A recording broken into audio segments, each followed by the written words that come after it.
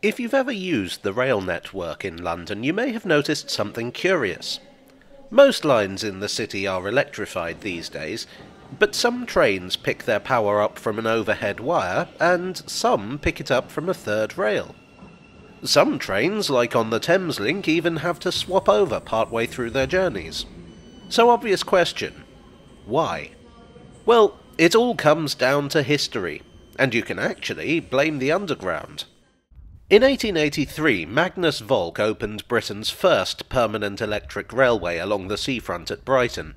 In many ways, it was a novelty. But Volk was very serious about electricity. And what his railway demonstrated was that this new form of propulsion had potential. But for that potential to be realised, it would need to be trialled on a larger scale. Enter the City and South London Railway. The City in South London was the first deep level underground line in London running from Stockwell in South London to King William Street in the city. Being far underground, the smoke and steam of conventional locomotives was a no-no, so initially it was going to be powered by cable haulage, similar to the San Francisco streetcars. But the chairman, Charles Grey Mott, realised that this was a highly flawed system. It lacked flexibility, Trains couldn't swap tracks, they couldn't reverse individually, and one engine breakdown or snapped cable would immobilize the entire line. So the company looked instead at electricity. When the line opened in 1890, it used electric locomotives and proved on the whole to be a massive technological success.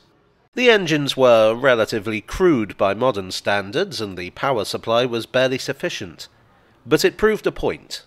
Electricity had many advantages over steam power. It was quiet. Electric trains could accelerate faster. They didn't produce smoke and soot. They were more efficient. A steam locomotive uses only 8% of the energy in the coal it burns compared to 40% in a power station. And from a PR point of view, they were futuristic. Electric trains were a selling point in themselves. They could boost passenger numbers.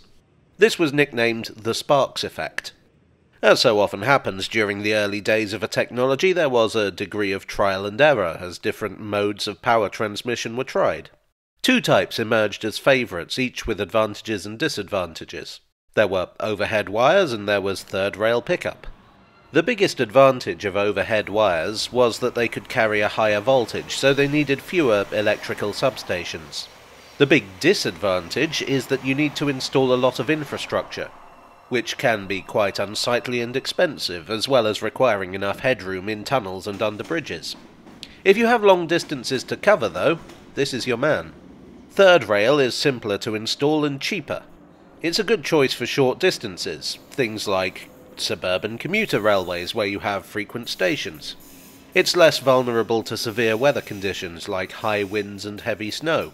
However, it's also less safe due to the rails being on the ground where they can be stepped on.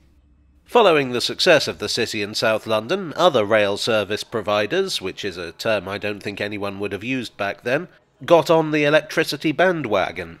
Tram companies and underground railways were enthusiastic adopters.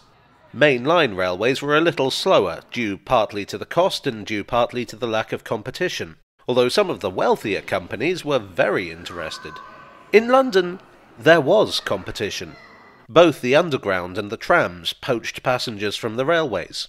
It was clear that the railways couldn't beat them, although the Great Eastern Railway attempted to cheat by building an enormous and impractically heavy tank engine known as the Decapod, which could accelerate as fast as an electric train but do basically nothing else.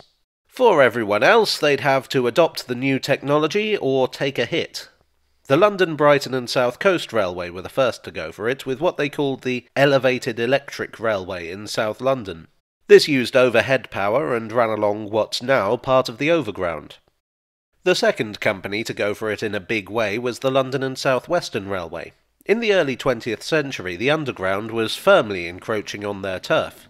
The District Railway ran trains to Richmond, Wimbledon, and Hounslow, all destinations on the LSWR. The Central London Railway, which ran to Shepherd's Bush, was also looking to extend out into the suburbs. By 1912, passenger numbers were in serious decline, so the company felt that they had to act fast. Fortunately, they had an ace up their sleeve. The first electric tube railway was the City and South London, as I said. This used third rail pickup. An engineer involved in the construction of the line and its equipment was one Herbert Jones. The second electric tube railway was the Waterloo and City Railway, which opened in 1898 and also employed Jones. Now, the thing about the Waterloo and City was that it was not entirely independent. It was heavily backed by the LSWR because they wanted a route into the City of London. Their terminus at Waterloo was south of the Thames, some distance from where commuters might actually want to get to. In fact, in 1906, the LSWR bought the Waterloo and City out, what all this meant was that the LSWR had a working association with Jones, who they brought on as a consultant for their electrification program. Third Rail was what he knew, so Third Rail was what they went with. It made sense.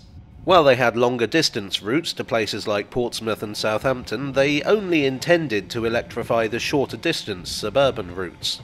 They decided initially to cover the loop lines to Hounslow and Kingston, the branch lines to Hampton Court and Shepperton, the line out to Effingham Junction, and the line from Wandsworth Town to Wimbledon that's now mostly part of the Underground. In the longer term, they planned to extend to Guildford. Electrification was a slow process, made slower by the outbreak of the First World War.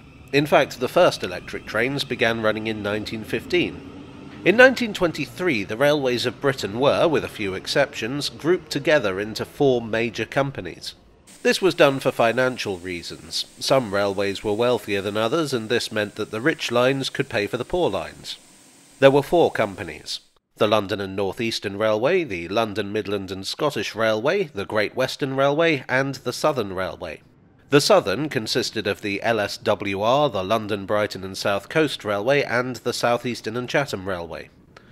The majority of its income came from passenger trains, so electrification of the entire network, particularly the commuter lines into London, was a priority.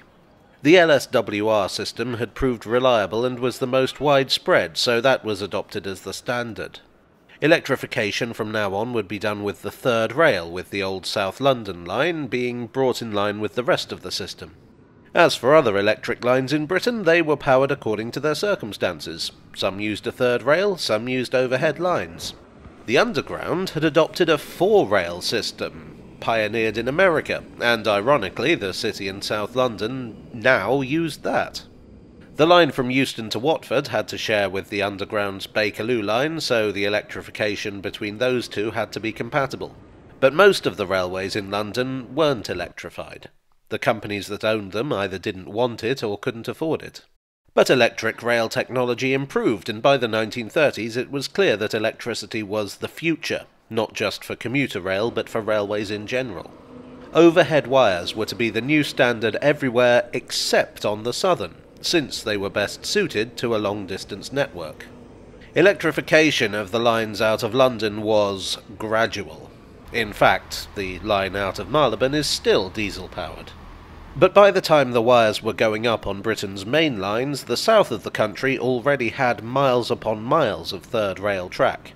Too much to convert, or at least to convert cheaply. And it tended on the whole to work pretty well, so they just kept it. This has had its issues.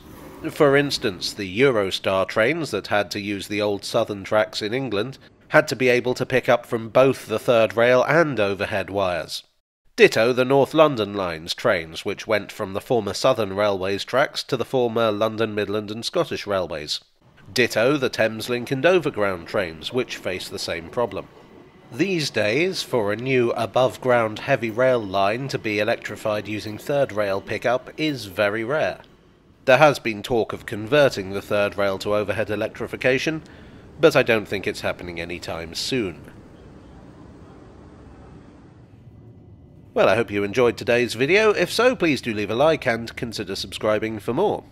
I would like to thank my donors on Ko-fi and Patreon and here on YouTube for your support. You are the substation to my third rail. And I'll see you all again very soon. Cheerio.